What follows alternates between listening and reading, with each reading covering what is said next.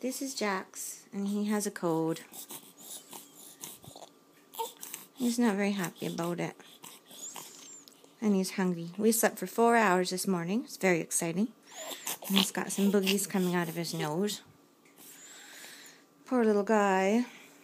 Two months and he's got his first cold already. But on a side note, he looks wonderful in green and blue. Okay, you tell him how you feel about your cold, honey. You tell him. Hmm? What you got to say? Nothing? Oh, you want to touch it? Do you want to touch the phone? Huh? Yeah? No? Oh, okay. Well, there he is with his cold. It's a pretty sad day. Bye, everyone.